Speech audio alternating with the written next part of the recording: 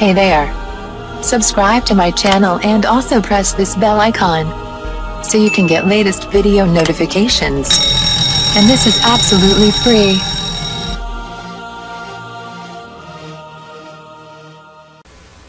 आज मैं आपको बताऊँगी कोलेस्ट्रॉल को कम करने के चार बेहतरीन तरीके कोलेस्ट्रॉल इंसानी जिस्म में बुनियादी फैट है ये जिस्म के तमाम सेल्स को एनर्जी मुहैया करने के साथ साथ मजबूती भी फराहम करता है।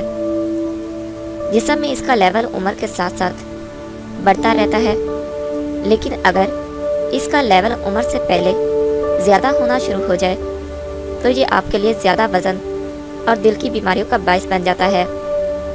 हमारे जिसम में कोलेस्ट्रॉल बहुत से बुनियादी हार्मोन्स जैसे टेस्टिसेट्रोन और एस्ट्रोजन और सेल मेम्ब्रेन के बनने का बायस होता है। जिसम में 80 फ़ीसद कोलेस्ट्रॉल जिसम में तैयार होता है, जबकि 20 फ़ीसद कोलेस्ट्रॉल का हिस्सा मुख्तलिफ़ गज़ाओं से किया जाता है। कोलेस्ट्रॉल की आमतौर पर दो इकसाम हैं। नंबर एक, एल डी एल। कोलेस्ट्रॉल की दूसरी किस्म एल डी एल, यानी लो डेंसिटी कोलेस्ट्रॉल की है, जो जिसम में चर्बी बनाने का काम करता है। ये खून में हल नहीं हो पाता और इसी वजह से प्रोटीन इसके लिए करियर का काम करती है, जिसमें जहाँ कहीं भी इनकी ज़रूरत होती है तो ये प्रोटीन उन्हें वहाँ तक पहुँचा देती है।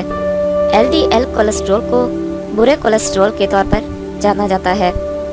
ताहम यह बुरे अपने केमिकल मेकअप की वजह से होते हैं।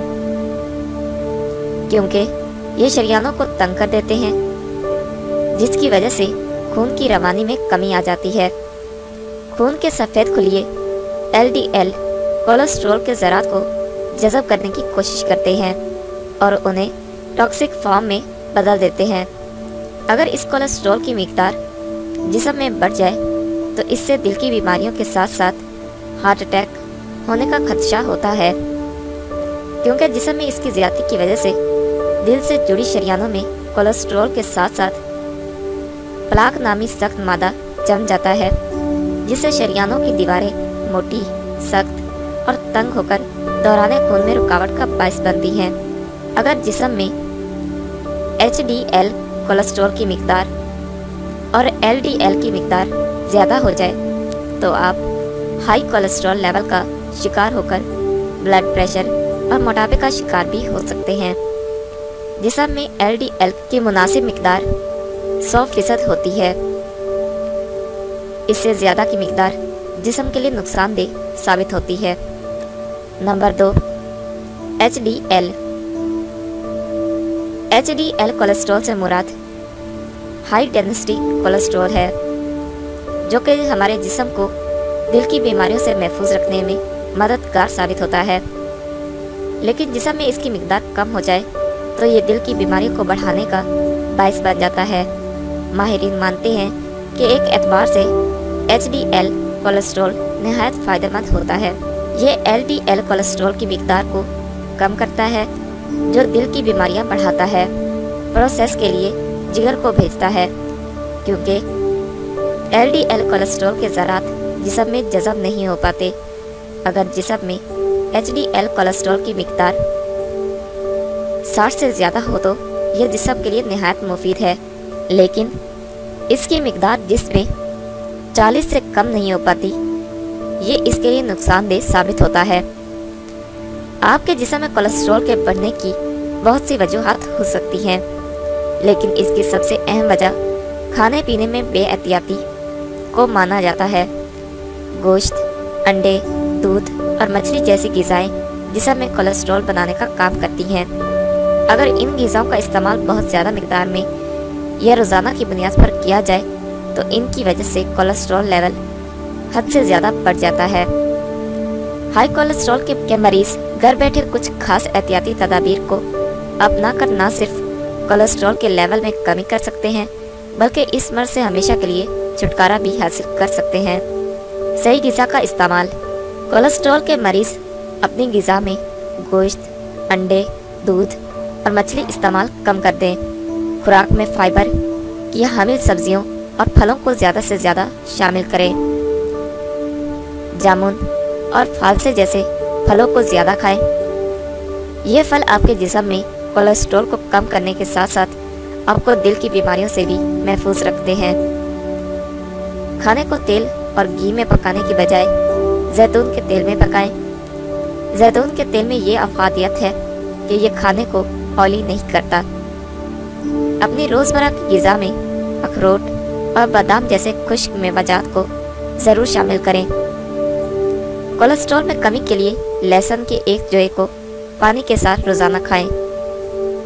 अंगूर और अनार के जूस को मतवातर पीने से कोलेस्ट्रॉल के लेवल में कमी आ जाती है। दो चम्मच इसबागोल रोज़ाना लें। इससे एक तो आपका मैदा ठीक रहेगा, दूसरा कोलेस्ट्रॉल लेवल भी कम हो जाएगा। ऊपर बयान की गई तदाबीर के साथ साथ भरपूर पानी भी पिए। पानी आपके वज़न और कोलेस्ट्रॉल को घटाने में बहुत ज़्यादा अहम किरदार अदा करता है। चिकनाई से इजतनाब। अगर आप अपने जिसम में कोलेस्ट्रॉल का लेवल कम करना और दिल की बीमारियों से महफूज रहना चाहते हैं तो इसके लिए ज़रूरी है कि आप चिकनाई की हामिल तमाम चीज़ों को खाना तर्क कर दें। खसूस अपने खानों को देसी या बनस्पति घी और तेल में पकाने से गुरेज करें। इनमें बनाए गए खाने बहुत ज़्यादा चिकनाई के हामिल होते हैं। इसलिए गिज़ा को पकाने के लिए जैतून का तेल या फिर कैनोला ऑयल सबसे ज़्यादा बेहतर है। इसके साथ साथ तेल की मकदार को भी ज़रूर मद्देनज़र रखें। खुराक को पकाने के लिए तेल की कम मकदार को इस्तेमाल करें तो ज़्यादा बेहतर होगा। फ्राइड खुराक पर से सारा का सारा ऑयल टिश्यू पेपर की मदद से जज़ब कर लिया करें। मुनासिब वर्जिश। अक्सर अवकात कोलेस्ट्रॉल की ज़्यादा आपको मोटापे का शिकार बना देती है और मोटापे की वजह से दिल की बीमारियों का खतरा भी बढ़ जाता है। मोटापे और इससे जुड़ी बीमारियों से निजात के लिए कोलेस्ट्रॉल लेवल को कंट्रोल करना बेहद ज़रूरी है। इसके लिए खाने में एहतियात के साथ साथ आपको रोज़ाना की बुनियाद पर वर्जिश भी ज़रूर करें। जैसे पैदल चलना, दौड़ना, साइकिलिंग और वर्जिश यह थोड़ी सी मशक्क़त आपके जिसम में कोलेस्ट्रॉल की कमी के लिए बेहतरीन रहेगी। अगर इस आदत को मतवातर अपनाया जाए तो आप बहुत जल्द कोलेस्ट्रॉल के लेवल और अपने मोटापे में कमी महसूस करेंगे। नशा आवर अशिया को तर्क करें। सिगरेट नोशी और दूसरी तमाम किस्म की नशा आवर अशिया का इस्तेमाल, जिगर और गुर्दों के लिए नुकसानदेह है।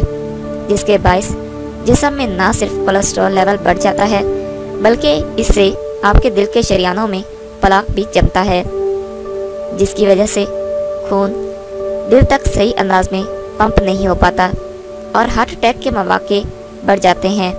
इसलिए खुद को कोलेस्ट्रॉल और इससे मुतल बीमारियों से बचाने की खातिर नशा आवर अशिया का इस्तेमाल तर्क कर दें।